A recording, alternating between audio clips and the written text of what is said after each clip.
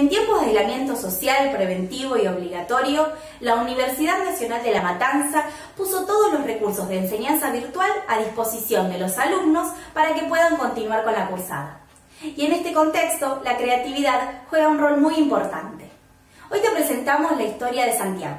Él es alumno de la licenciatura en Comunicación Social y en su primer trabajo práctico para el taller de Radio 5 tuvo que presentarse ante sus docentes y compañeros y eligió hacerlo de una manera muy particular. Para la consigna de la presentación sonora de nuestro currículum, se nos ocurrió hacer una canción de trap, iluminados por los principales referentes de la escena, como son Duki, Neopistea, Kea, Trueno, Woz. La radio y la música son dos pasiones que entran por mis oídos y corren por mis venas.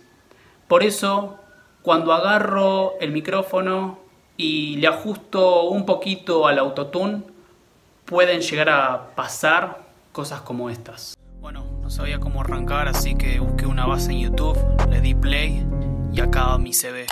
Y se ve que arranqué el cuarto año en la matanza, pero no me imaginaba que iba a ser a la distancia. 23 materias aprobé y en tres yo me anoté. De a poco voy llegando al sueño que de pibe fue. Y fue el barrio de Liniers que me vio crecer desde la redacción del diario. Ahora los pongo a leer.